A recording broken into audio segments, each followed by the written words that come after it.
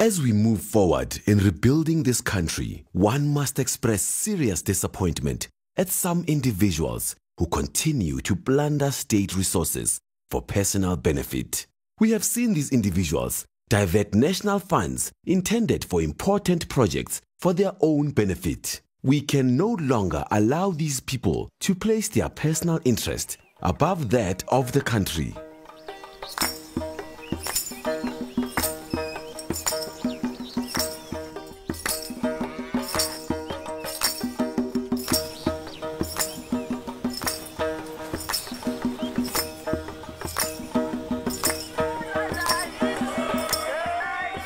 In 2011, Swaziland, famed guardian of African tradition, was forced to ask neighboring South Africa for a bailout.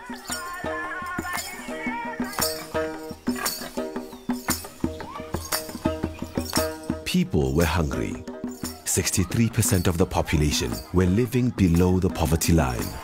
Yet the king of Swaziland, Mswati III, was and still is one of the richest leaders in Africa. His personal fortune in 2011 was estimated at 100 million US dollars, and he was sole trustee of an estimated 10 billion US dollar royal fund. While the king, Africa's last absolute monarch, is revered by his people, these gross inequalities are the result of a political system in crisis.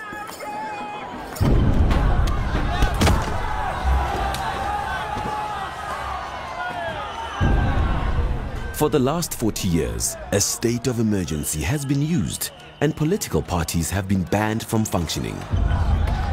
We have been born out of a society that encourages you not to challenge, not to question, keep quiet, don't be problematic.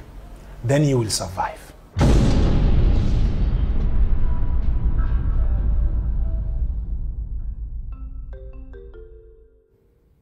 By the 1890s, Swazi royalty had granted land and mining concessions to white settlers. The settlers obtained large portions of the country. And in 1903, Swaziland became a British protectorate. Anxious about the growing settler ownership of land, Swazi royalty set up the Lifa Fund. All Swazi working people were asked to contribute a portion of their wages to buy back the land. Most of the little land that was bought was controlled by the king. Britain made few changes to traditional rule and in 1921, Sobhuza II succeeded as Ingwenyama, or leader of the Swazi people. He was advised by the Queen Mother and the Liqoqo, a council of elders largely composed of members of the royal family. By the 1940s, the British had taken so much land that only one-third was left for the Swazi people. Industry grew, and in towns and workplaces, political parties and trade unions developed to represent people's views. Sobhuza saw them as un-Swazi divisive elements brought by imperialists.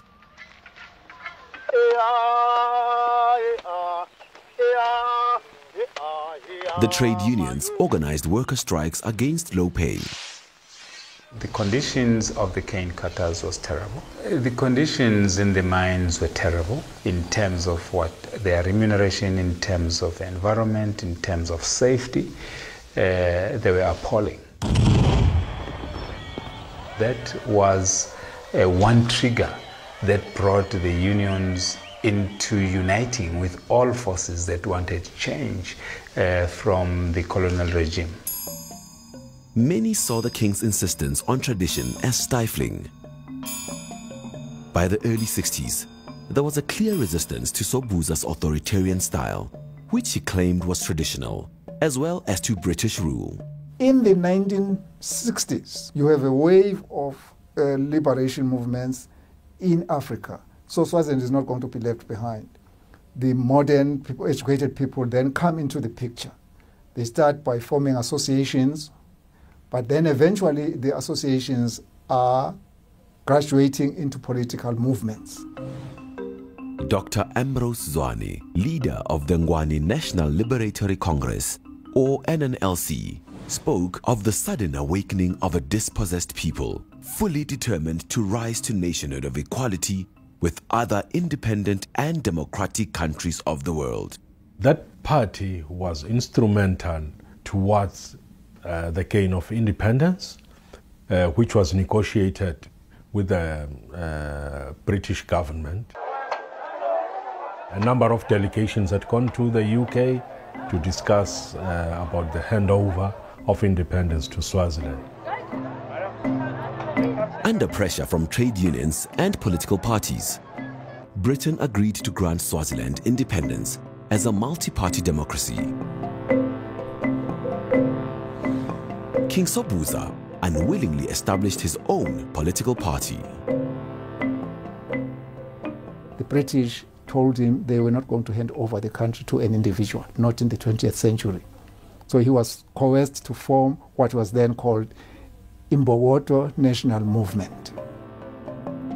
The first Swazi elections respected the democracy enshrined in the constitution.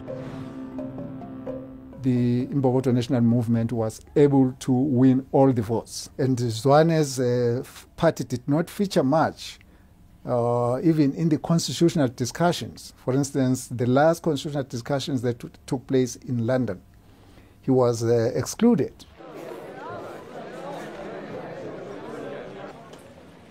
We know it's documented in history where he went. I don't know where he got the money from, but he went to London and tried to block those discussions. He wanted to enter into the conference room, but they, they, they refused him, and then he, he want, was trying to block that, and he was removed by force by the police.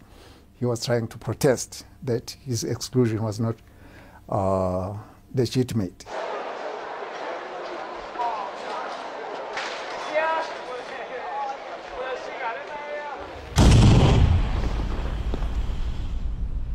The new constitution granted Sobhuza Swaziland's considerable mineral rights. He set up Tibiyo TakaNgwane, a trust fund where income from mineral rights was saved for the Swazi nation. Tibiyo was supposed to assist the material welfare, standards of living, and education of the people. But Tibiyo paid no taxes and was totally controlled by the king.